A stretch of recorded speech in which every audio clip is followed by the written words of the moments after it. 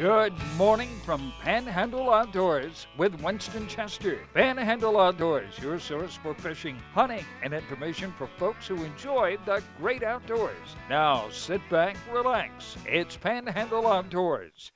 Good morning, folks. Welcome to Panhandle Outdoors. I'm Winston Chester, and I want to thank you all for being here. But I want to go ahead and uh, tell you that I, I, want to give my expression of uh, appreciation over the loss of my mom. All the correspondence I got, it was just been so wonderful this past week, and uh, you know the, the sympathy cards, the the emails, all the social media, the phone calls, and it just it was really uh, I really appreciate it uh, from the depths of my heart. Our family appreciates it, and it meant so much to us. Uh, we had a beautiful service, and of course, we all know she's in a better place now. And it just uh, was a, one of those times that was just special. Everybody pulled together. But you, as a viewing audience, and a lot of a lot of our friends and all, meant a lot to us. All the texts and emails and all, and phone calls. So thank you again. We do appreciate it, and. And uh, always, uh, you know, it's always think about your fellow man in a situation like that. It's been really good. Now let's get on what our weather brought to us by Haney Technical Center at the corner of Baldwin Highway 7 and 7. It's only going to get up to 87 a day and a low of 75. The water temperature is hanging in there around 84 degrees, so it really hasn't started cooling yet. So it will be soon, though, as September moves on. The river readings, take a look at the Apalachicola Blountstown, it's reading a 2.9 and staying level. Not a lot of movement on in that area there. And the Choctawhatchee at Caryville is a 2.4. Both of them real low and just not a lot of movement on, on either river now. Tide chart uh, brought to us by Kent Forest Lawn Funeral Home and Cemetery. You get these charts down at C&G. Looking at today, September the 9th, not a lot of uh, movement. Right, well, about an average amount of movement. Got about a 1.6 foot range there. And the high is going to be at 8.15 this morning and low will be at 6.12 tonight. Okay, and the marine forecast south southwest at about 10 to 15. I'll take our break and be back with our guest.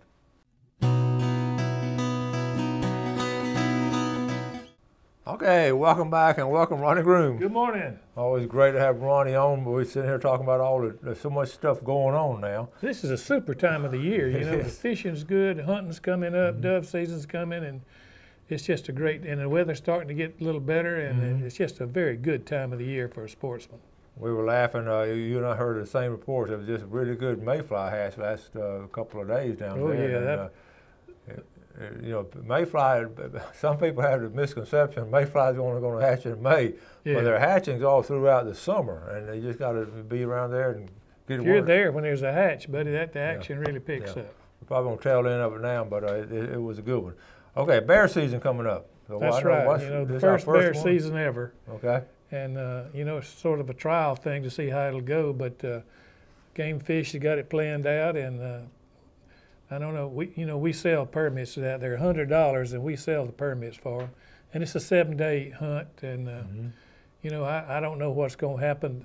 Bears are so uh, hard to come by. I mean, you, they're there, and we got too many of them, mm-hmm. obviously, mm-hmm. but you, you hardly ever see them. Well, uh, you and I both know a lot of times they move around at nighttime. They're nocturnal. That's right. And uh, they don't. Uh, of course, you see them cross the road sometimes in the middle of the day, but that, that's a that's those little young cubs and all. Yeah. they don't. Uh, yeah. They're smart. You're right. Uh, it's, it's, surprising how smart they are. Uh, I was up in the, in the, in the lease yesterday riding around, and Gene Cooper was showing me one of his feeders. They they just demolished it. They mm-hmm. broke the pole. You know, we have to put a, a feeders on steel poles. You can't mm-hmm. just sit them on the ground or anything. They demolished his feeder and went and checked his next feeder.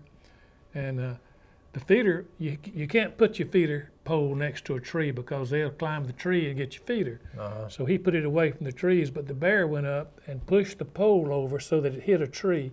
Then he climbed the tree and tore up the feeder. So he had that two feeders torn up. And uh, yeah he was upset about that. Uh, but that's part of it. Yeah, they're intelligent, and, and they are all over the place. I mean, we, we know they're all over the place, yeah. but as the ability to get out and actually hunt them like a deer or something, coming to, you know, it's going to be harder than people think. Yeah, I don't I don't look for them to take as many as they want because no. they have to start somewhere to see what what's going to happen. But they're predicting that uh, uh Florida hunters will take about 320 but I'm, I'm think it's going to be a lot less. I do too, because you know in my lease we've got bears, we've got uh, four or five, I'm sure, in there, different ones.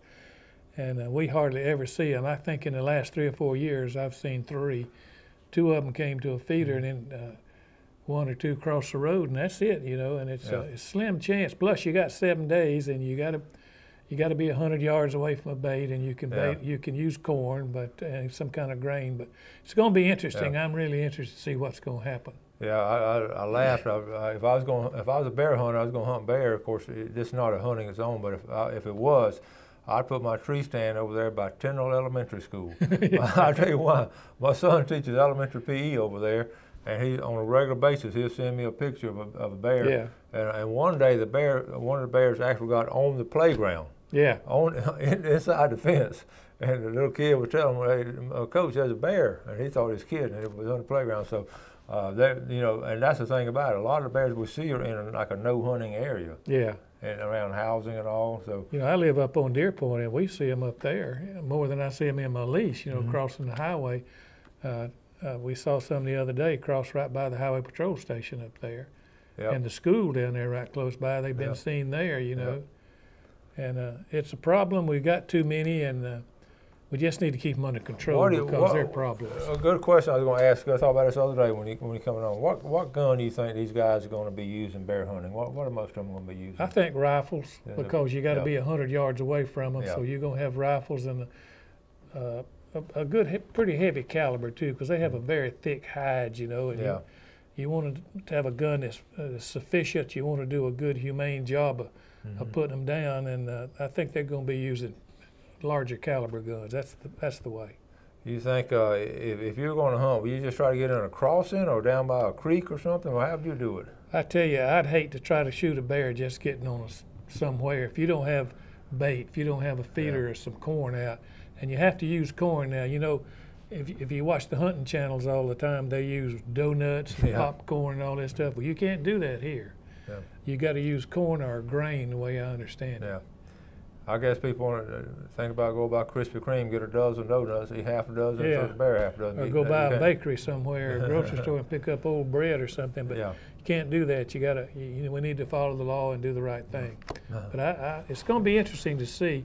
And if you if you take a bear, I think within 12 hours you've got to notify the game fish, and they have to check it. And, yeah. Now, do you have to tag it, or you just got to call it in? I, I don't. I'm I think you got to take it somewhere and have it checked at a check Okay. station, Yeah. and that way they can do uh, you know some biology, biology Yeah. type work on them and make uh, help them out. And we definitely we have we do have too many of them. We so got too many. yeah, You know, there's so many car wrecks and Yeah. people are getting killed and they're Mm-hmm. hitting bears, and uh, then we just need to keep them under control like anything else. Yeah. Gonna be interesting. All right, we're gonna take a break. We'll be right back.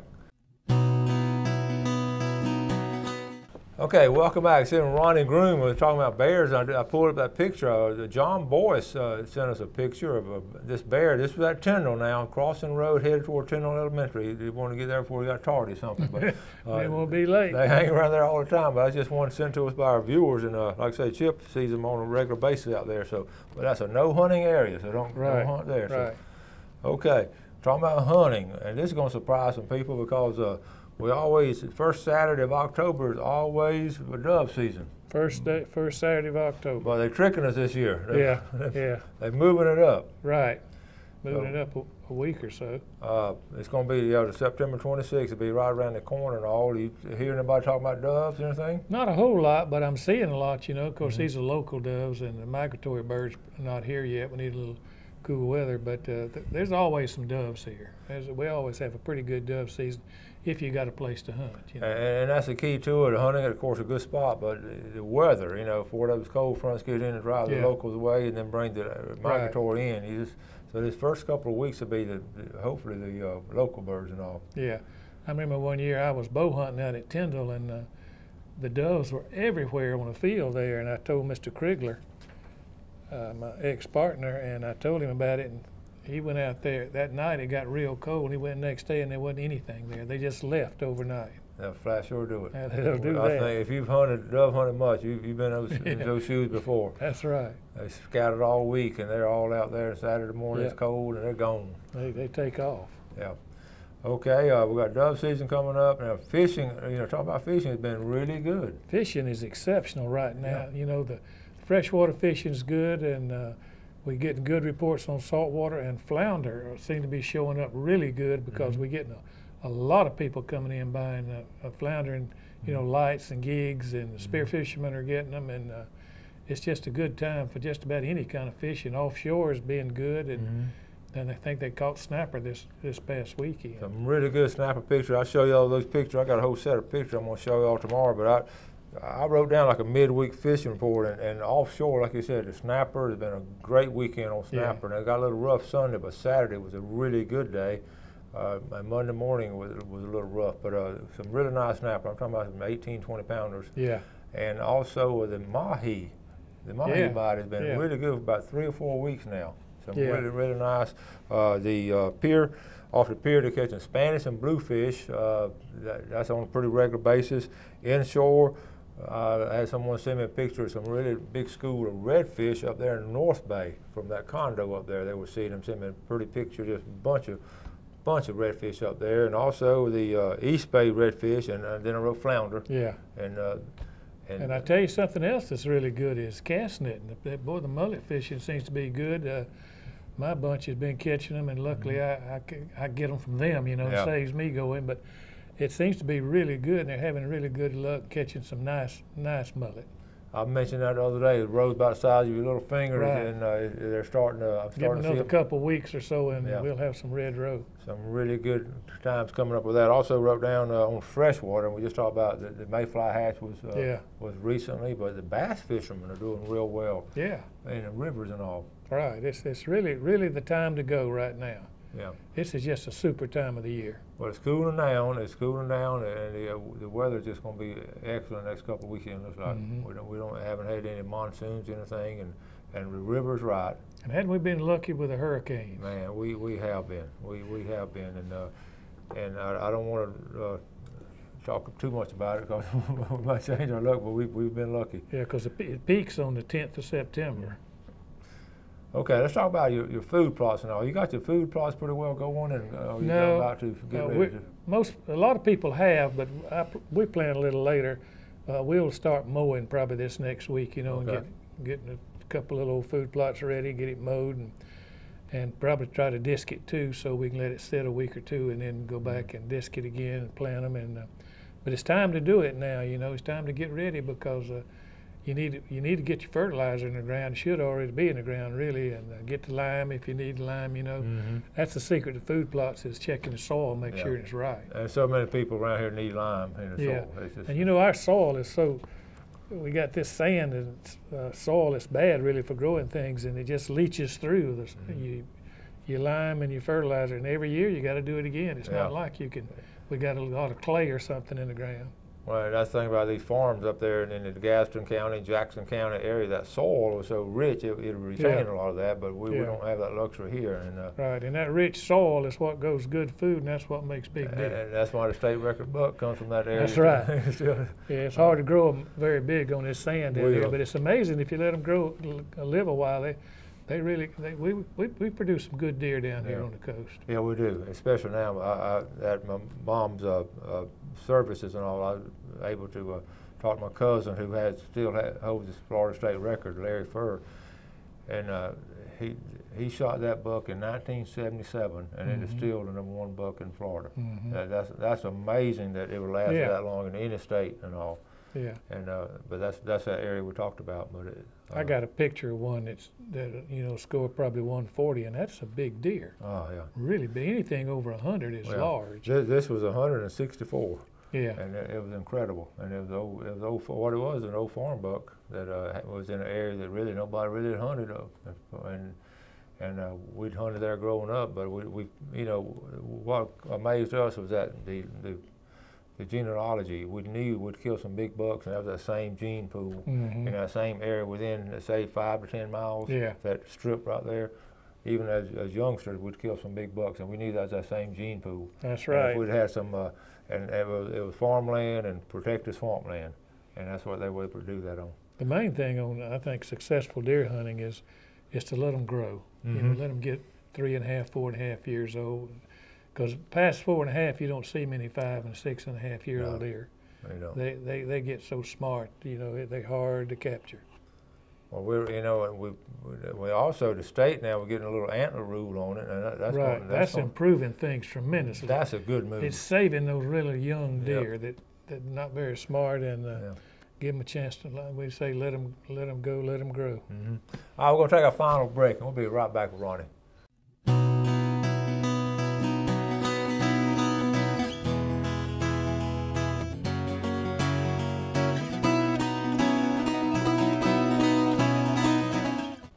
Welcome back. Let's look at fishing game time for today. Uh, brought to us by Mark Coward of Counts Real Estate out there on 30A. And our times are 10 a.m. to 12 p.m. That's right there in the middle of the day.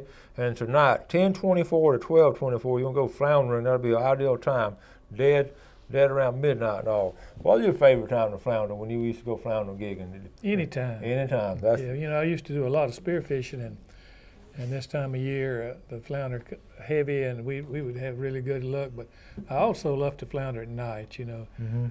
and uh, it, it's so pretty out there at night with the light and see what all's down there. And It's, it's a different experience to do yeah, that. It yeah, really it's is. really a lot of fun It- too. it's, it's that peacefulness, that tranquility. yeah, you got it to yourself. And another thing too, I think why it so appeals to people like you and I is sort of like hunting and fishing. You sort Right. of hunting, for, trying to look, find them, right. and then, you, then you're able to get them. So, That's why I like spear fishing because I could go hunting for fish. That's right. Yeah. That's right. Uh, let's see. We're talking about. Uh, let's see. What else? You have something else mentioned. You got some sales coming up anytime soon. or- Yeah, you know, we're this time of year we're we're getting in so much merchandise, guns and clothes and uh, crossbows and bows. We're just getting so much merchandise in that we we're gonna run a sale on some items and and get rid of some things so to make room for this new stuff. And uh, we're gonna we're gonna have some really good sales. I know we got some bows we're gonna put on sale. We're gonna give a hundred dollars off the regular price because Oh, we got to make room to hang the new bows up. So uh, if you if you're in, the market for a gun or a bow or something, we got some a bunch of used guns that we're going to put on sale so we can make room for all the new guns coming in. Mhm.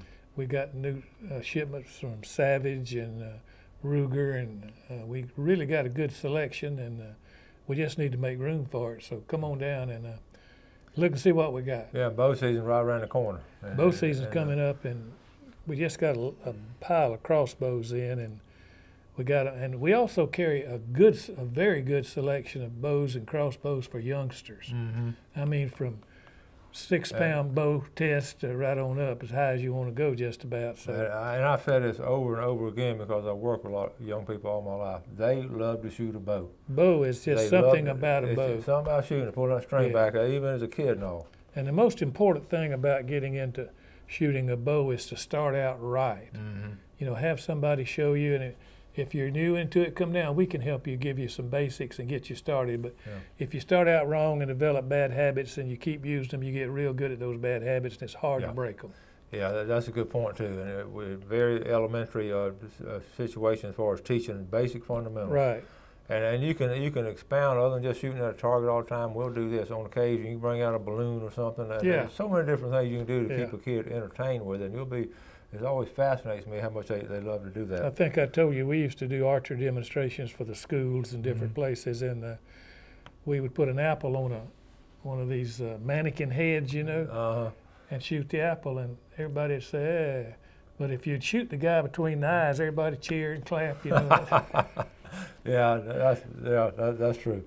Okay, we were talking about a red snapper on it and how uh, I got a picture here. This I'm gonna, this this is a picture here. One of our one of our viewers. I'm gonna. Uh, this is fascinating. We're talking about the size of them, how they how they really gotten bigger. This is uh, a weekend, and it's gonna be. On, you got it on the screen there to pick up.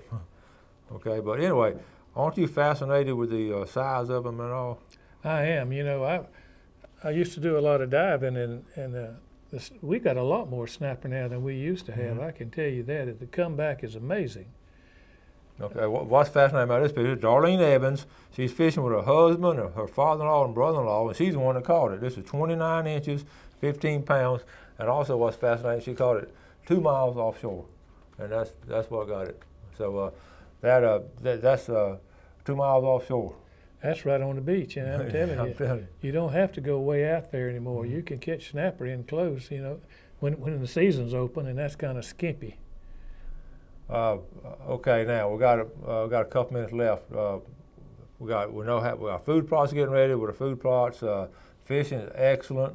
It's just a great time to be in the outdoors. It's hard to find time to do everything. You know, what time we have off, it's just hard to get away. Do y'all have, do y'all have flounder gigs and all down Oh there? yeah, we got the flounder gigs and we got the poles for them. Uh, What kind of what kind of lights are a lot of people going to now? What, you know, we used to have those little thousand lumen bulbs. I still have mine, but uh, They make a little bub that's about that big around, about that long now. I forget the name of Yeah. it, but that thing is so popular. okay, a lot, a lot of uh, people is yeah. it, still go underwater. Yeah, uh, yeah, You know, some people get them on top of the water. yeah. That's I, the way I used to use. I had two lights, one on either side of the boat in the front. And uh, we used to back then. It was legal. You could gig uh, other fish besides Mm-hmm. flounder, and we would run the boat. Actually, run it slow and you know, and Mm-hmm. and pick up flounder and mullet, you know, whatever. And uh, that is just so so much you can do in so many ways to do it, and so many places to go. And you can wade in flounder. You know, you don't have to have a boat. that's something we, we don't talk about a lot. You can what you can do. It really got some kids with you. You can have a crab uh, a little crab net right, and, get you and a some gig, crabs. and you have a little seafood buffet for the night. Right. And we, I need to mention too that there's a there just seems to be a tremendous amount of crabs in the bay now. And remember, you can't take the females. Yeah, yeah, we, we talked about that, and also you want to make sure that uh, you want to get big ones too, big old healthy. I know somebody was catching some big ones to eat, then catching little ones to fish with, which is legal. Uh, Yeah. But if you're gonna fish with them, that's an excellent bait for redfish. They eat too good for me to fish with. I. I know it.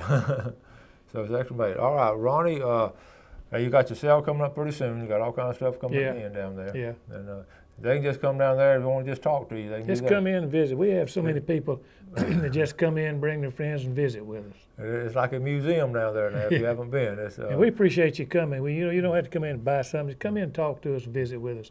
I think you'll like us. And you exchange a lot of information too. And Right, And uh, right. on fishing and hunting and all. If you haven't been there, uh, run. It's right at the Harrison Avenue. It's been there how long?